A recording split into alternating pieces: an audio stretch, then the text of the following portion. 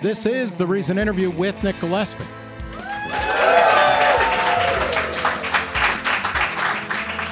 All right, thanks for coming out. This is part of Reason's Little Singer series of salons, and our guest tonight is James Kirchick, the author most recently of the book Secret City: The Hidden History of Gay Washington. We're going to be talking to him about his work uh, and his career and his commitments to free speech. You define yourself, Jamie, uh, which is how you go by. You define yourself as a free speech absolutist. Yeah. Yeah. Um, why don't we start by tell me how do what does that mean? Like, because you obviously don't believe in free speech always being legal, do you? I support the First Amendment of Okay. the United States Constitution, I've never heard of. which is uh, the most expansive in terms of any law of any country in the world, and basically permits any speech that is short of inciting imminent violence or could be or har- harassment. Right. Yeah. Short of that, um, I think we should have a pretty wide berth. Uh, you uh, recently turned 40 years old, so Well, you are what a millennial. Technically, I turned forty. Yes.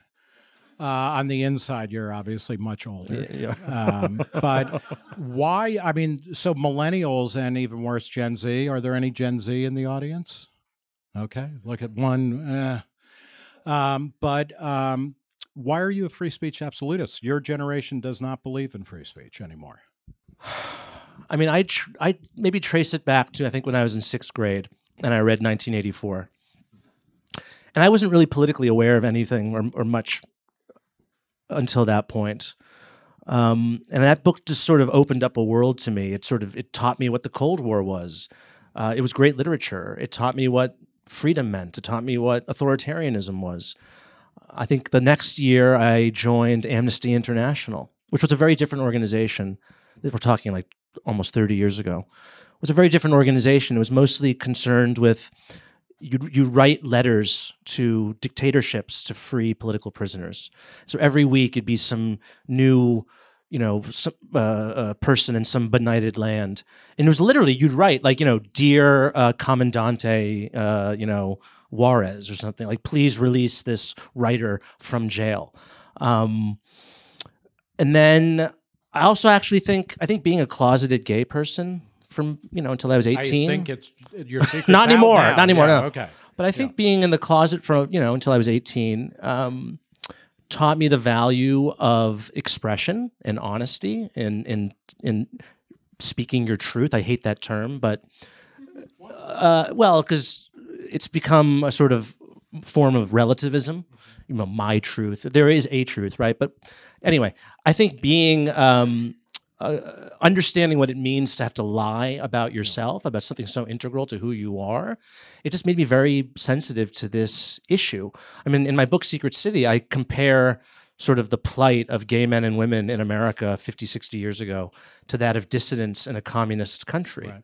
Because their bars were raided by the police. Their phones were tapped by the FBI. They had to live a lie. They had to pretend to be something that they weren't.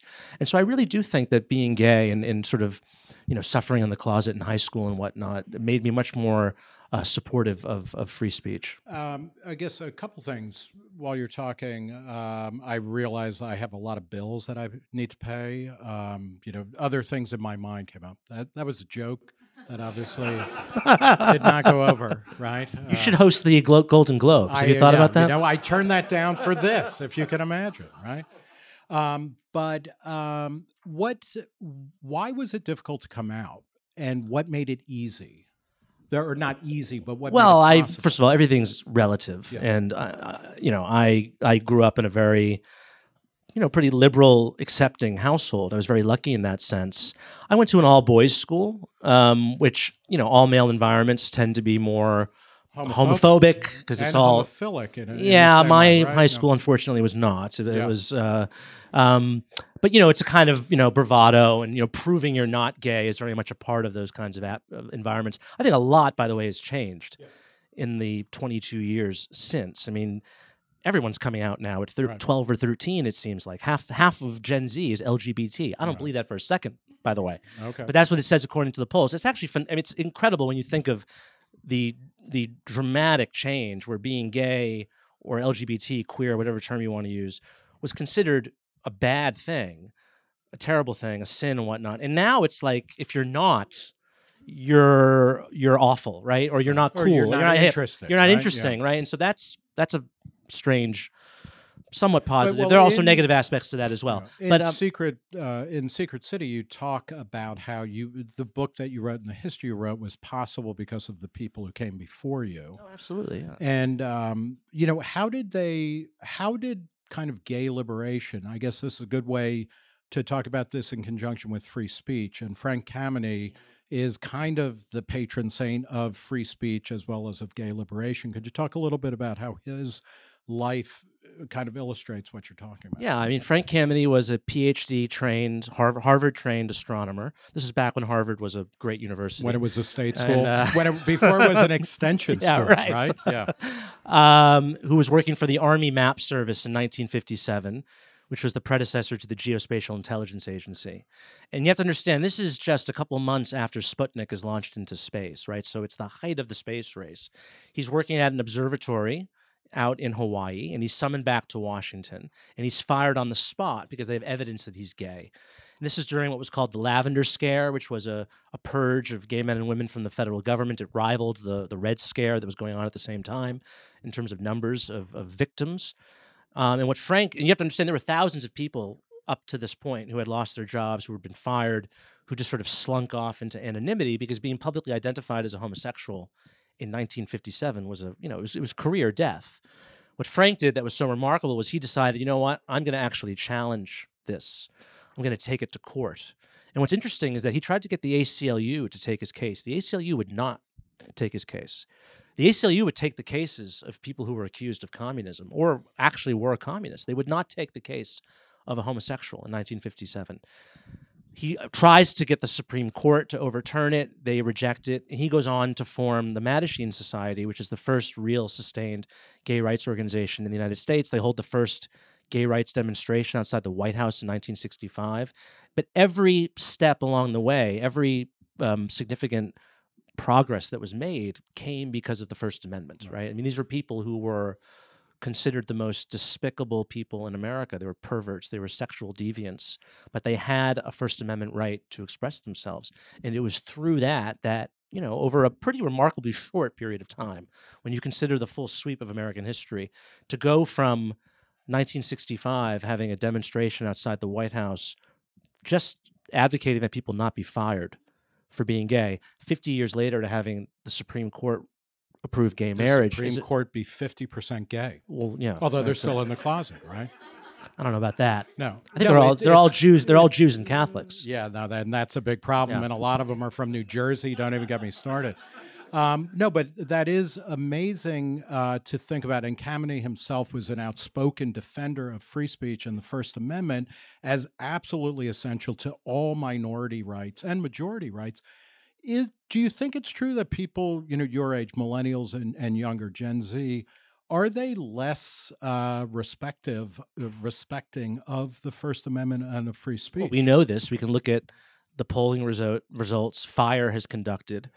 I think you have a majority of college students now support forcibly preventing people from speaking on college campuses if they consider their views objectionable. Um, and I think it has to do with, frankly, power. I think that, you know, when progressives or the left were out of power, they were more supportive of free speech. I mean, why was the ACLU founded? It was founded to defend the rights of Bolsheviks and anti-war activists around World War One. Um, and then you look at all the major First Amendment cases. I mean, not all of them, but many of them involve gay rights, women's rights, African American civil rights. There were some Nazis thrown in too. Sure. uh, and of course, uh, the guy who led the Nazi march Ended in Skokie was Jewish, and right? was- or and gay. and was Sorry, gay. wasn't- he was. he was maybe partly Jewish and, and yeah, and he's too. he's a trifecta, right? Yeah. And I think what's happened is, is that as the left basically assumed power over a lot of these institutions, the media, um, certainly the academy, once you're in power, I mean, look, people in power, regardless of their political views, want to keep power. Okay. And it's, and you don't, um, you're not, you're not, uh, there's not much of an advantage to letting the opponent have their say, right? You have to really believe in the principle to do that. And so I think once these institutions became sort of ideologically monocultural, um, they just decided to sort of rule them as like as as ideological fiefdoms. And when when was when did that point?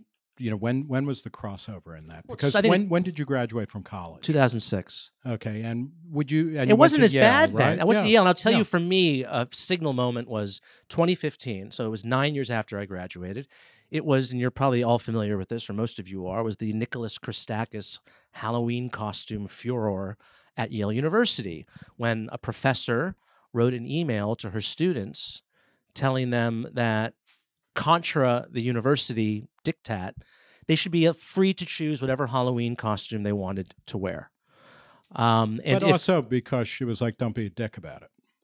she, I don't even think she said Yeah. that. I think she's what, what it what it started. This was a, an administrator, and most of these problems on campuses begin with these superfluous administrators.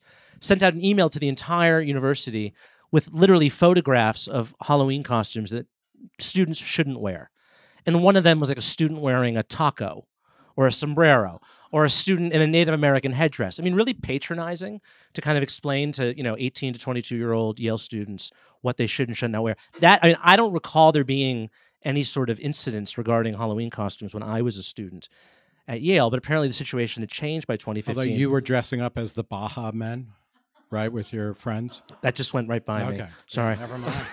All right, we'll let it go. But in response to this, a professor wrote to her students saying, Look, you're adults. You can choose what costumes you want to wear. If you don't like what one of your peers are wearing, why don't you have a conversation with about it? Instead of going to the administration and complaining, have a conversation as adults. And this led to all hell breaking loose. and that footage. Her husband was incredible, yeah. screamed at for three hours, yet cursed at in his face by a mob of angry students. And I watched this video and I felt like civilization was collapsing. Like I this was this would not have happened at Yale when I was a student there less than a decade before. and so that to me really signified that something had had had sort of switched. Yeah, clearly something. And um, uh, John Jonathan Haidt and Greg Lukianoff. They pinpoint that Yeah, they talk about- 2013, 2014 they say. Yeah, right? and they talk about when students started demanding speech restrictions rather than administrators. Totally. that was a fundamental I, I guess yeah. my question is like, but weren't wasn't the left completely in control of Yale when you were there? So you know, I think liberals were. something- I think liberals were, and I think what we're seeing now is more of a progressive. yeah. Can you? I think there's a real bit? distinction between liberals and progressives. I think liberals believe small L liberals, of which I consider myself one. and I think you would consider yourself Yeah. one. Believe in individual rights. Believe in or might be free speech absolutists to use that term that you and I discussed I actually before. believe you should be uh, mandated to yell fire in credit theaters falsely. That's how much of a liberal I am. Um, and I think progressives don't believe in those things. I think progressives believe in group rights, not individual rights, right? So if an individual says something that could be interpreted as offensive to a group, that therefore would be impermissible because group rights supersede individual rights. That's so that that to me I think is a fundamental difference And you think that's mostly about power? Uh, I, I mean, the ideology ultimately, it's really about power and controlling institutions. I think they use these um, tools to, yes, to um, uh, stigmatize people, um, to gain power in institutions, and to basically defeat and destroy their ideological opponents. Yeah. You've, uh, as a journalist, you've worked at a variety of places, and you publish in a variety of you know places like the Atlantic, uh, the New Republic, uh, Tablet Magazine, um, the New York Times, uh, Airmail, etc. Do you find is that split going on there too? The thing, you know, people will always say, well, you know, the media has always been liberal, you know, by and large, but now it has shifted into progressives, or what's going on there? Is it analogous to universities? I think there's a generational difference between in a lot of these institutions, not just media. I think in publishing too. I mean, let's look back on when Woody Allen was going to have his book published, and Ronan Farrow, Rosemary's Baby, uh, raised a ruckus about this, complaining and demanding that the publisher uh, pulp the book. And you had all these editorial assistants, the vast majority of whom were under 30 years old, had a strike. They actually left the office to protest the publication of a book. To which I say, why are you in publishing if you oppose the publication of a book? Go work as a censor in Uzbekistan or something. Like this is not the career for you, right? And and you can see this in all these yeah. institutions. There's a real generational, and I'm not saying everyone under 30 is like this, okay? And I'm not saying everyone over 30 is on the right side of this, but you can absolutely see in these institutions a generational divide. You talk to people of a certain age, they live in fear of their subordinates. And this, I think, is a real problem across all these institutions. It's a, it's a lack of liberals having a spine and standing up to progressives, which is the same problem on the right, by the way. Okay. What did we see over the past seven or eight years? We saw mainstream, reasonable Republicans did not have a spine when it came to Donald Trump. And they just, you know, they, they, it was like spaghetti. They just, they just so where, collapsed. Where and, is that coming from, though? Then, because if it's it's not simply a liberal or conservative thing, because you're seeing it on the right and the left, that the extremes really are totally running the debates, right? It does seem that way, absolutely. Yeah. And, and it's not, not, just an age thing because a lot of those. No, it, on, on, the right, it's different. On on on, yeah. on on the right, it's different. You know, I don't know. I haven't thought. I haven't thought about whether it's the same phenomenon on both sides. What are the motivating causes? Um, I think just for for liberals, it's very difficult when they're confronted with an argument having anything to do with sort of race, gender, sexual orientation, right? If someone's making um, an argument from positionality, where it's like you know, as a you know, yeah. transgender black, whatever, as a gay man, I tell you, I think a lot of liberals don't know how to respond to that kind of argument. They they they get really afraid um, and they have difficulty sort of arguing from a from a position of first principles to say, you know what, it doesn't matter what you are. This is this is the principle that we have. Like we believe in these ideals, and if you don't believe in them, I don't care what you are. You maybe shouldn't work here. Uh, with the Woody Allen book, is it does it matter? I assume you believe Woody Allen is not guilty of raping his daughter. I don't believe. Sorry, yeah. I, I, I believe he's innocent. What I, I well, okay. look, there were two government yeah. investigations into this. Don't quote the government at me. Now uh, you're making. Now I, well, first of all, there were there were no charges. Yeah. No charges were ever right, filed, right, right, if I'm not yeah. mistaken. Yeah. So we have a legal system in this country. We have a system of justice. He has not been found guilty of any crime. So and I, you know, to the extent that I've looked into it, and I'm not like a Woody Allen hobbyist, I haven't, but I've read, I've read well, enough. You're not, you're not old enough yet. Give it another five years, right? Um, but so, so, by the way, and, and, and, so, so, so to me, it was preposterous that one of our most acclaimed filmmakers, right, would have his book um, canceled because of what I consider to be spurious allegations having nothing to do with the content of that book, which my, the book was about his art, about yeah, his films. I guess my question is if he was guilty, um, if he was writing from prison, would you still feel the same way? And I'm not I'm not trying to catch you in anything. Well, I'm just saying are, like what it, what hmm. is is the principle like if you worked at a publishing yeah. house and you know oh, there's this guy, you know, Hitler that has a great book. I think it's going to go big, right? Um, you know, what what is the limit of working at a place and saying, you know what, we shouldn't be publishing this thing, and if we do, I'm walking out or I'm quitting. I think that's a that's a a decision that I would respect. I might not agree with it, um, but I would respect someone saying, you know what, I don't want to publish O.J. Simpson's if I did it. Right. right? I can understand someone working for Judith Regan at the time deciding I don't want to do this. In which case, you should find another job but I don't think I don't think Woody Allen yeah. was was that case. And you feel more broadly that we're we've become overly sensitized as a society to being afraid of making any kind of offense. Oh, absolutely. Yeah. Yeah. Uh, let's talk. We're not the worst, though, right? Germany might be worse. I want to talk, you know, to run through some of your uh, some of the articles that you published over the last year or so to kind of clarify how your free speech absolutism kind of works out. Um, for the Atlantic, uh, just a couple days ago, uh, you wrote a piece that was called or titled "What Happens Where Free Speech Is Unprotected." The subtitle is "The Case of a Maverick Polemicist Who Will Go on Trial in Germany for Using a Nazi Symbol." Is a timely reminder of the liberty we should cherish. I guess I gave away the punchline of that, but but it's a good example. Who is C.J. Hopkins? C.J. Hopkins was a guy I met when I was living in Berlin about a decade ago. He's a playwright. He's by his own d- description, he's an old lefty. I would say he's close. He's probably like a like a Noam Chomskyite. If I had to put his politics somewhere of that kind of political dispensation, he left America in 2004 because he hated George W. Bush, and actually was one of the very few. he's one. He's one of those people who's actually like, I'm leaving Yeah. the country because of the election. And he did. He actually did. He actually yeah. left. He couldn't have taken David Crosby. No, he actually right? left. And I got to know him because I was he he taught like a script writing class, and I and I and I was taking this class, and I didn't really stay in touch with him, but he added me to his email list, and he beginning in two, 2016 started writing kind of political satire pieces um, from a very kind of you know old lefty perspective. The pandemic rolled around, and unsurprisingly, I guess he became uh, an anti-vax guy. He published a book which is blurred by RFK Jr., calling him our modern Jeremiah. And on the cover of this book is a face mask with a swastika on it. So clearly, what he's doing is he's comparing masking policies and COVID vaccinations and the whole sort of public health regime. He's comparing that to Nazism.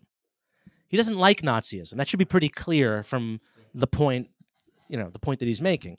The German government is now prosecuting him for using a Nazi insignia. They're alleging that he's promoting National Socialism.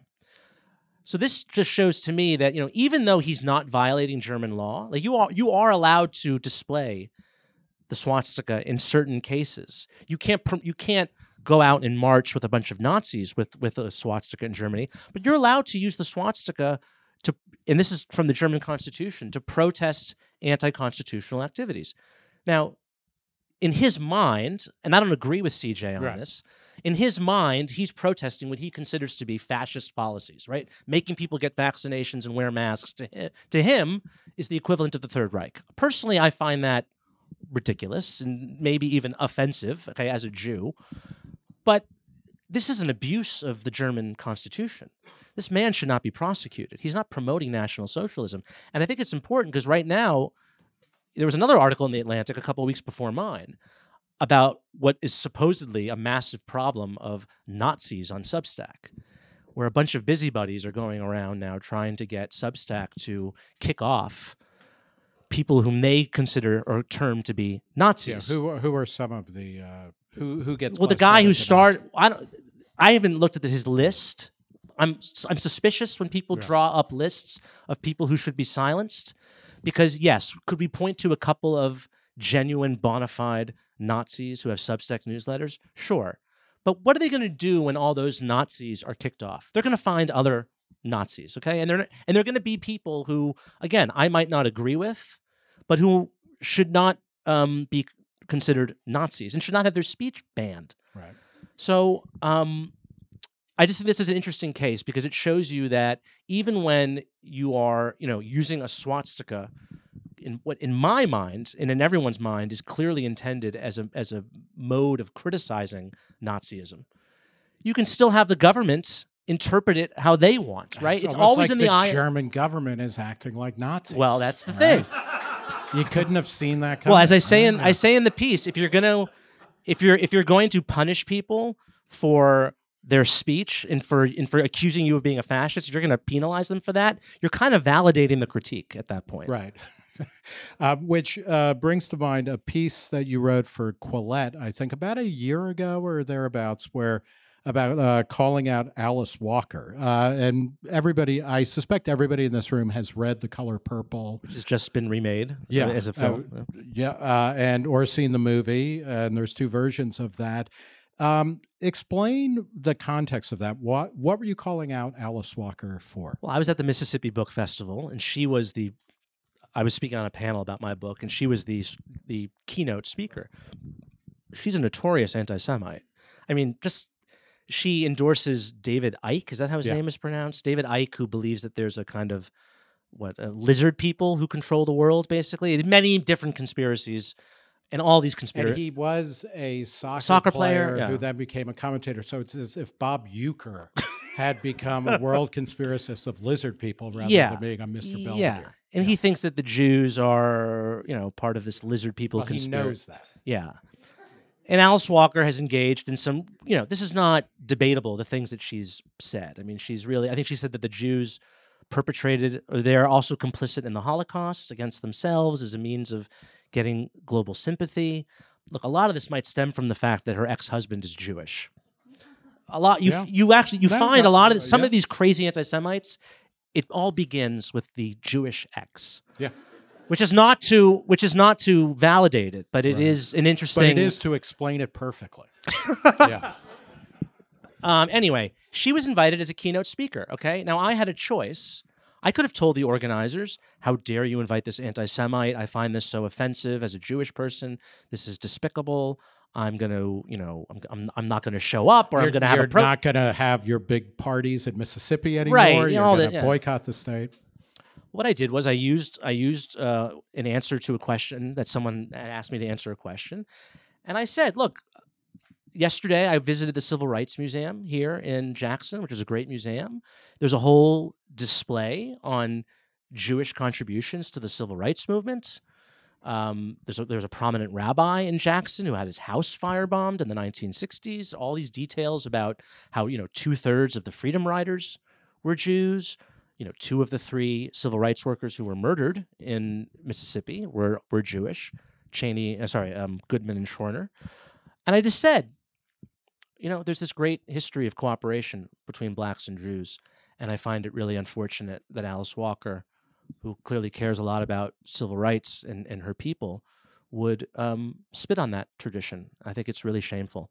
And I'm, I think that she has a right to say these things, as despicable as I find them, but I have a right to counter her and have my say. And that to me is sort of the model of how we should deal with these How, did- how situations. did the crowd, the uh, crowd uh, applauded. And I think a lot of people in the crowd probably didn't know Yeah. about Alice Walker's history of anti Semitism. Did you? Uh, you also n- now I'm thinking back. We've known each other for years. Didn't you get? Was it RT Russia Today, which doesn't exist anymore? Uh, but it what does. RT does. it? It's called, it's not Russia No, Today, it's it's, called RT. MSNBC. or no, I guess they're not No, Russia Fox. Today. It's more right? Fox, Yeah, I think. Fox is Russia Today. Um, but you was it on RT when It's you on RT, yeah. Yeah, you wore. uh, this was the last good uh, uh, example of using rainbow suspenders to further the public good. Uh, could After after Ronald McDonald or, or who, who I else? would- look, nobody's wearing rainbow suspenders anymore. Weren't you wearing? I am was I, in- am I making that up? It was the summer of 2013. It was right around the time that the Russian government was passing these laws against the promotion of homosexuality.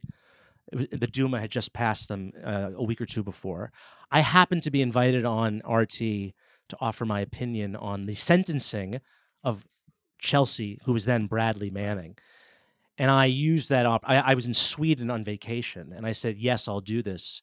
Obviously, with the with the idea in mind that I'm gonna I'm gonna say something about these dreadful this dreadful law that's being passed in Russia. And I I scrambled to find some piece of of gay pride paraphernalia in Sweden, which is a lot harder to find than you would think. Well, it's everywhere. I would I would have right? thought that because yeah. it's such a gay country. Yeah.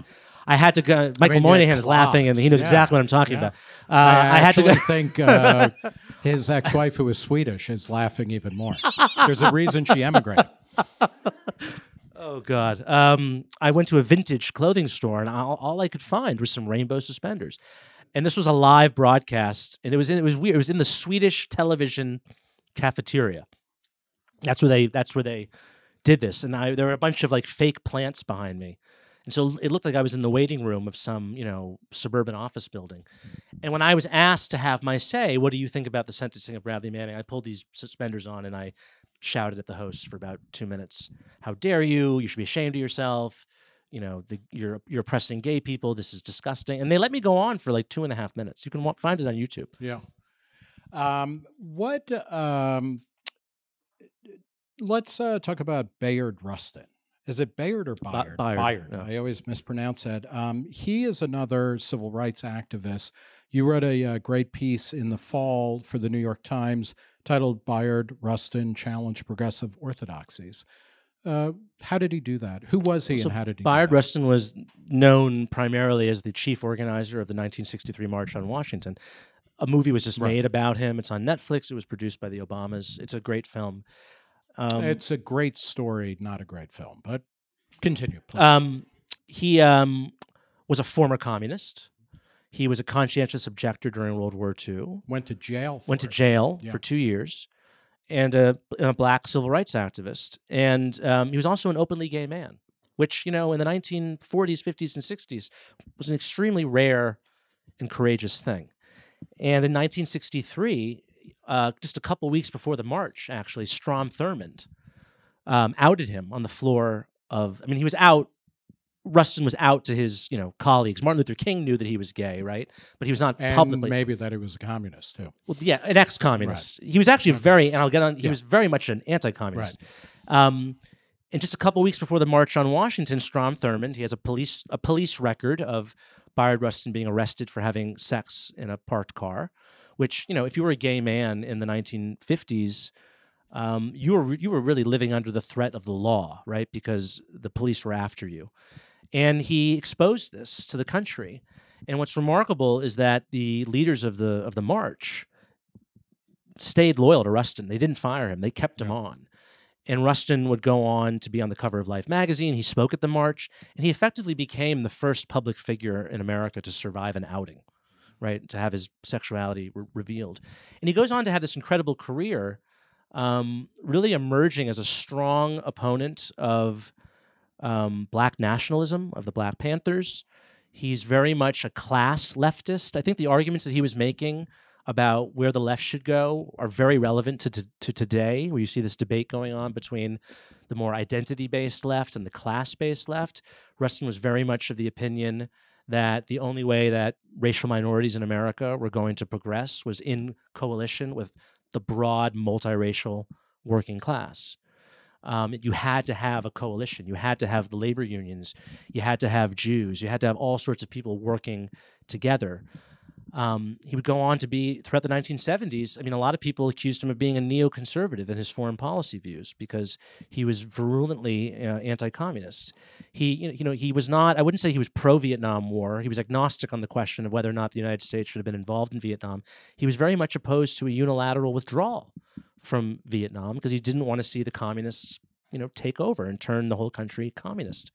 Um, he was involved in all these sorts of initiatives um, that were um, uh, concerned with making the Democratic Party more hawkish, with not sort of, you know, uh, the anti-George McGovern wing of, of, of the Democratic Party. He was strongly pro-Israel. He started an organization called the Black American Support of Israel Committee, BASIC, in 1975, a very outspoken opponent of anti Semitism in the black community. Um, none of that is in the movie. Right. The movie ends in 1963. He has this fascinating political career for the next 25 years of his life where you know he remained very much a social democrat he would have called himself a socialist but he was very um, I mean, he really opposed, you know, for lack of a better term, identity politics. Yeah. Um, you, I mean, one of the things that you draw from him, and I'll, I'll point out, I uh, our last, our previous guest in one of these was Coleman Hughes, who also looks at Rustin as as a real kind of role model. Um, and um, the book uh, by Daniel Akst, uh, "War by Other Means," is about Rustin and David Dellinger, and it's it's fascinating. It's a immense history, but kind of what Rustin does and what you do is that you show up and you you have the debate, right? That's the main. Oh, yeah, he debated um, Malcolm X. Mm-hmm. He debated Stokely Carmichael. He debated you know all sorts of people, which I think is really lacking in our political um, in public and public intellectual dialogue today. Is a lot. Is there a lot of people who don't who are who are called public intellectuals who refuse to debate? And you know, Coleman Hughes, I think, is has tried many times to get Ibram X. Kendi to debate him. You know, radio silence, right? And yet, and yet we uphold this guy as being the leading public intellectual of our time. I'm sorry. If you're a public intellectual, you got to debate people who disagree with you. Yeah, talk, that's part of the job. What happened to that debate culture? Is that a function of uh, kind of media sorting so that everybody now has their own kind of channel or platform, or or is it? before that is that kind of looking at the uh, you know the outcome or the the effect rather than the cause because somebody nobody had to debate bill buckley right? Who was a big debater um, in the 60s um, you know what what happened to that positive culture of open debate? It's a good question. I mean i was the president of my high school debate team. Uh, when i was at yale i was a very active member of the yale political union which is this great very unique institution. There's nothing like it as far as I'm aware of in American higher education. It's sort if of a, I may, I just want to point out Have you I debated once there? spoke there, and I immediately lost the debate when I announced that it was great to be in a room of people who, like myself, could not get into Harvard. Um, I should have saved that for the um, afterwards. the Yale Political Union is sort of a com- it's sort of a combination of the Oxford Union and the British Parliament, and that it's a debating club or debating society, but there's parties, and there's parties from the far left. There's a left party, which is socialist basically, all the way to the party of the right, which is this weird sort of cultish, you know, uber Catholic group. But every week we would come together and we would debate, and we would debate really contentious issues. We'd bring in a guest. Do they still do that? They still yes, but as Yeah. I understand it, as I understand it at Yale over the past 15 years since I left, the left has sort of left the Yale Political Union. They're out protesting, right? They're involved in activism on campus. They're less interested in participating in these debates with their ideological opponents. It's kind of interesting in England, which has very, you know, ideological outlets across the board. It seems like the debate, the culture of debate flourishes more. So yeah. it's probably not simply uh, an epiphenomenon of media distribution, right? I think I, I it's it's a good question. I do feel though that that look, I think with the rise of partisanship more generally in America and the rise of partisan media, I think it has made it um, just incredibly rare that there are outlets where you see a real um, civil civil uh, intellectual debate of people. And there's all these initiatives now. I mean, there's um, the Munk debates, which I participated in, In maybe Canada. which is in Canada. Um, there are all these sort of civic initiatives now that are sort of geared There's at There's the Soho Forum, a monthly uh, platform in New York City. yeah, and there are some podcasts Yeah. that I think try to kind of cross the Yeah, partisan Open divide. to Debate is another group that does that, uh, formerly Intelligence Squared US. yeah, but I mean, I I just I loved doing this Yeah. when I was a kid. Yeah. and I would look forward. It was kind of dorky, but I would look forward to going to going to the YP. I mean, my favorite comedy sketch growing up was the Monty Python argument store, where a guy walks in and wants to have an argument. I mean, I I I, I love that, right? And I just feel that, you know, you I, it really is a generational change, and and and just a lot of these young people um, believe that words are a form of violence, and that words that words can do harm in, in the same way that violence can. Is uh, this is a, a kind of specific uh, question rather than a, than a broad one? Is do you think anti-Semitism is a unique phenomenon in the way that politics and ideology is generated or gets polarized and things like that? You know, I've been thinking about this a lot, obviously, since October 7th, and I really think that so much of what makes anti Semitism so unique and persistent and protean, it all goes back to Christianity. It goes back to the Jewish rejection of I just want to point out, you know, it was started by a Jew. Yes, it don't Get on, was. don't get on the Christian's was. case. But I think even if you look at left wing, I mean, what so what is the basis of Christian anti-Semitism? It's the Jews are rejecting God, right? And they were never forget. It wasn't until the 1960s that the Vatican Right. overturned yeah, that. Vatican II. So you have millennia of just you know murderous anti-Semitism, and I think it's so deeply ingrained in Western society that even left wingers who are secular, who hate religion, who hate organized religion, who hate the church, they've been marinated in this anti-Semitic culture. That left-wing anti-Semitism bears the strong marker of this, right? Because what is the left-wing anti-Semitic critique? It's the it's the Jews or the state of Israel rejects international human rights. The Jews are stubbornly rejecting progress.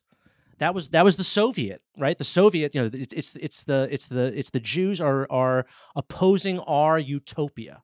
And that's pretty much what the Jew has existed as for millennia. It's this Jewish rejection of kings, of utopian movements, Of right? re- because r- res- of refusing to get with the bigger program. whatever the program is, whether it's an Islamist program or a left wing program or a right wing program. What about the capitalist angle of this? Because this seems in the Amer- in America, it seems that anti-Semitism is perhaps distinct from European anti-Semitism, which seems more cultural. Blood and soil Yeah, in, in Europe. you know, and yeah. so like Jews, uh, you know, and this is.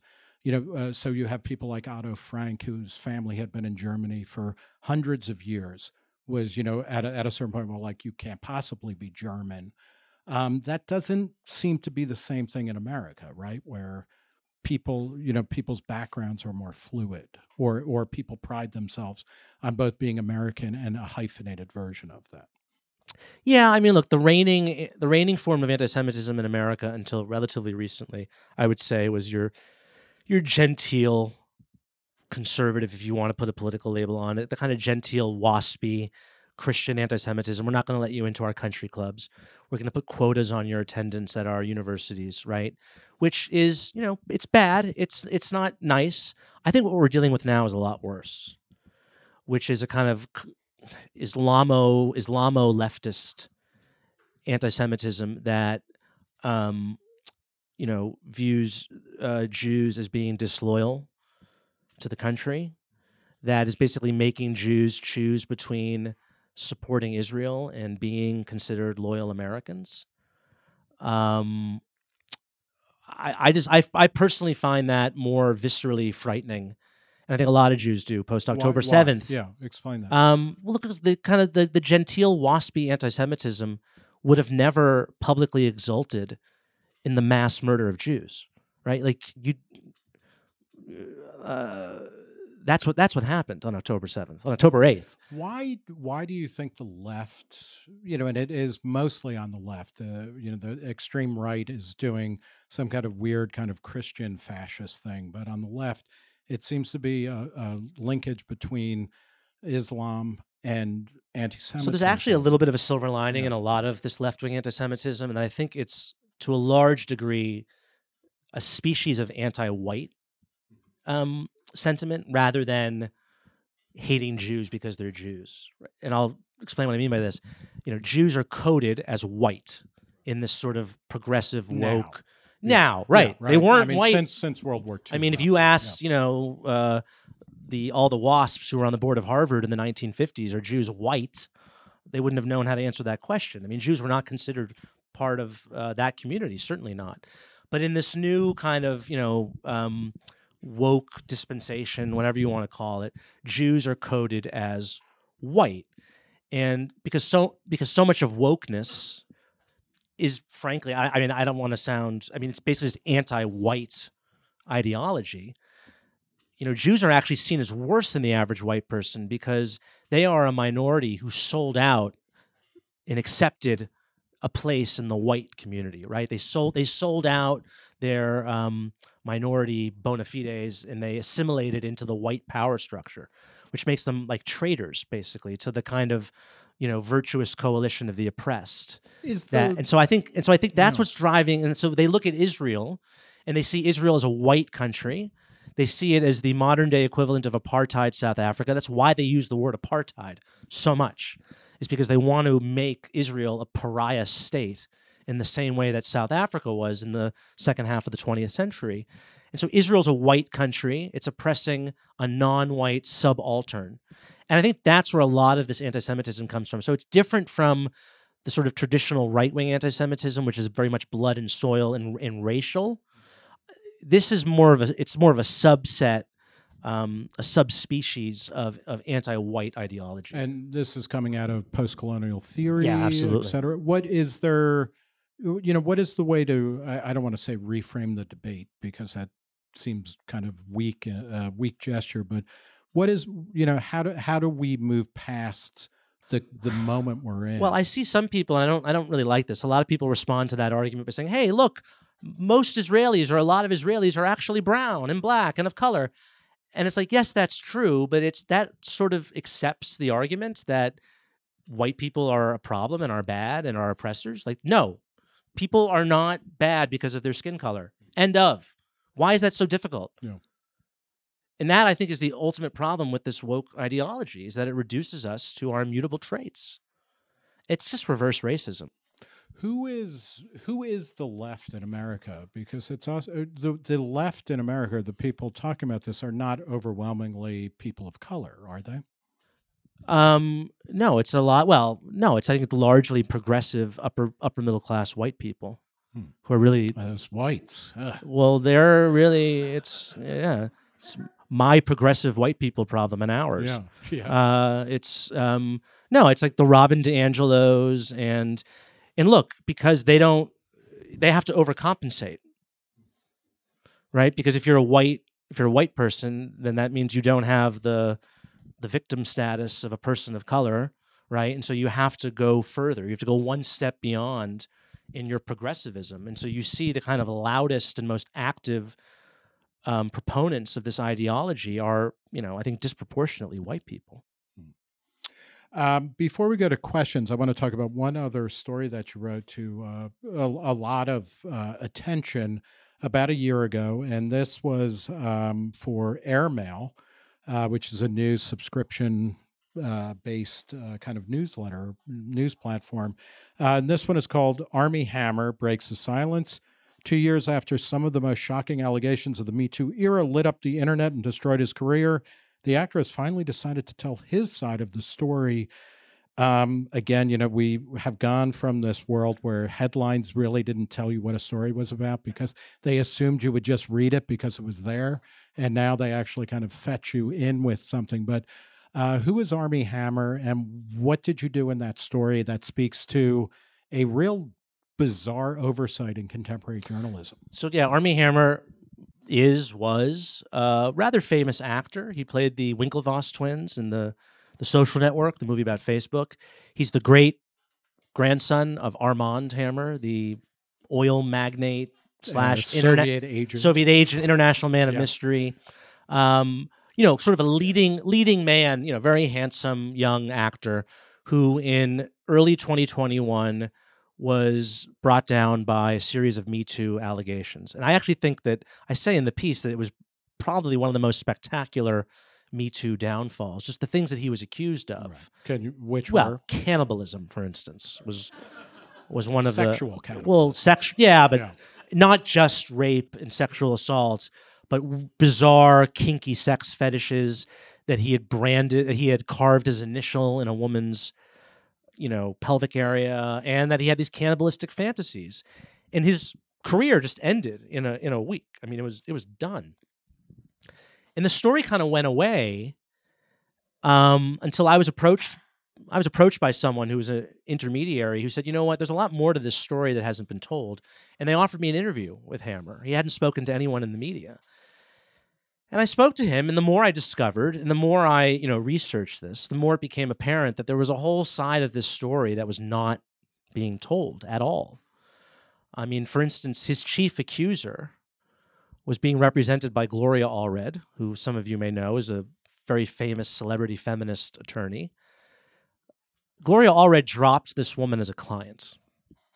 Okay, that's how, you know, tr- how trustworthy his main accuser was but that wasn't picked up. You know, no one else in the media decided to investigate. You know, they had printed in all these stories, they had printed his text messages to women in which he's expressing his um, support for or his expressing his interest in let's say you know untraditional sexual acts having to do with um, S&M bondage and yes he wrote about wanting to eat various parts of a woman's body. What weren't revealed in any of these stories were the messages that the women were sending back to him, which you would think might be an elemental, elementary part of a journalist's duty, is to not print one side of a text exchange with someone, right? So I got all the texts that he was in, and I and I painted a, a picture in which I'm not absolving him of being a, maybe a bad person. By his own admission, he told me that he was a jerk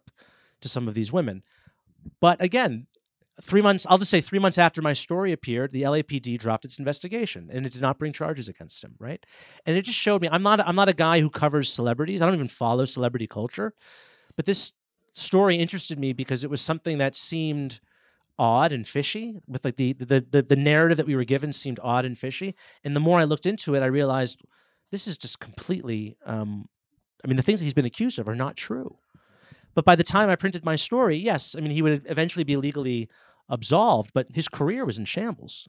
And it just shows you how easy it is in this country to destroy someone's reputation and career. Do you think it's worse now than it was in the past, or you know, is journalism shittier than it used to be? Uh, these types of things, or It's how, hard how to do say. Look, it's hard to say. I mean, do we want? We, we don't want to go back to the days when the media was covering up the fact that FDR was a par- was a paraplegic, or and You again, know, suddenly it all makes sense. yeah, but there were a lot of Yeah. things that the Yeah, media yeah. wouldn't No, cover no. back Yeah. then, right? totally. Whereas now it's gone completely in the opposite direction, I think, where so many journalists just do not do their basic duty of expressing skepticism. You know, when someone when uh, when when you have a source, this is so elementary. When you have a source in journalism, you have to have other sources because your source has an agenda. Every source has an agenda. You have to you have to check their information against other um, sources of information. And I feel that, and this is a problem that plagues both the right and the left. People have a narrative in their head, and they get one source to confirm it, and they run the story. And I just, you know, I look at one of the what I think is one of the biggest journalistic scandals of our time is is the RussiaGate mm-hmm. story. Okay, and I say this as someone who's a, a bona fide Russia hawk. Okay, I've got you know I was kicked off a live broadcast of Russian television. I worked for Radio Free Europe. I am I Yeah. I I was on. You wrote a book in 2017 called "The End of Europe: Yeah, Dictators, Demagogues, and the Coming is- Dark Age," which is is, a- not pro Putin. not pro Putin, Yeah. but and I'll say, you know, the first year of the Trump administration, I kind of went along, or I was willing to believe these claims that and, Donald, and the RussiaGate claims that Donald his- Trump was recruited you- by the yeah. KGB, or they they, had were compromised. they'd on him. compromise whether or not they'd compromise or he was ideologically simpatico and was working in cahoots with a foreign adversarial power to seize control of the United States government in a way that was redolent of the Manchurian candidate, something like that. I was willing to go along with it for a while, but then I realized, you know, after this was a story that was investigated, I think, more than any other story in American history, save possibly the Kennedy assassination. In terms of the, the the amount of resources that went into this, right? All these people, and they never came up with the goods. And I think this was a case of the media wanting to believe something to be true because they couldn't explain it any other way. And I look, I, I, I lived a sheltered existence in Washington, D.C. You know, I'm a gay Jew from Boston. I didn't know a lot of Trump supporters. It didn't make sense to me how he could have been elected other than by, you know, the, the innate racism of half the American people or some fishy scheme involving the KGB in Moscow. I'm admitting that. That's what I believed but my views changed over time. Okay, as, as more facts came to light, or in this case, facts didn't come to light, they still haven't proven this. But there are still, I mean, I, it still seems like a large portion of the country is under the impression that Donald Trump was recruited by the KGB in the 1980s or somewhere around then, and that he's a foreign asset. And and I just I find that to be um, a real failure of of duty on do you, the on the do parts of our think that media. is like there's no coming back from that, or do we learn a lesson? And by we, I mean I don't think both the media le- and, I don't- and the media. I don't think the media has learned a lesson. Yeah. Do you think the mainstream media has learned a lesson from this? I don't. I, I haven't seen many. I haven't seen the promoters of this conspiracy theory recant. Yeah. Okay. I maybe one or two of them have. I haven't seen Michael Isikoff, who co-authored a book, Russian Roulette, with David Corn. He's he is. Michael Isikoff has kind Yeah. of come out and said, "Look, we got some But things wrong." Nobody reads him. Okay, but David right? Corn yeah. has not. Yeah, David no, Corn I- has I you know doubled down I on it. So Yeah. and this is a problem. Like there used to be consequences for journalists who got stuff that, wrong. Uh, that I'm not sure. No, Yeah, I mean, may, or yeah, in certain cases, not. That's where. maybe involving plagiarism Yeah. or fa- outright fabrications, My- like Janet Cooke or something. but- Yeah, you know, I guess my question is, you know, part of it is that you know more people can speak, more people can do journalism, produce journalism. We consume it however we want, and kind of do whatever. I mean, it seems to be simultaneously it is a golden age for speech and for point of view, and it's also kind of like a nightmare. Because the problem is that most people aren't like us, where we have a lot of time. I'm presuming you're in the audience or you're listening to this podcast. You have a lot of time to to expose yourself to different sources. Most people don't do that. Most people consume news in you know five or ten minute bits. Yeah. They maybe read a couple articles in the paper if they're even subscribing to a paper. Most people aren't subscribing to newspapers, or newspaper subscriptions have gone down. So yes, I agree with you that it's it's let let a million flowers bloom. That's important. but how many people are actually taking advantage? How many people are exposing themselves to different ideological positions? Oh, I think it's more than it is, but it's also it's it's too much for us. I don't I don't know. Um, of just as a final comment, uh, could you talk? Are you optimistic about? Uh, I, I guess like about America in general. I mean, this is January 2024. We are in the kickoff period of a presidential election that nobody is excited by.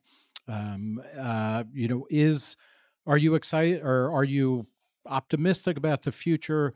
And if not in general, about you've turned 40, so it's all over, right? I mean, all down, it's all downhill from here. I think everybody in this room, inclu- uh, the ones who are still awake, would agree with that. Um, and uh, but what about free speech? Do you think free expression and free speech is going to grow, or is it going to shrink and become more and more rigid? Well, look, we have the First Amendment, right? And as long as the First Amendment is upheld, we're we're we're going to be fine.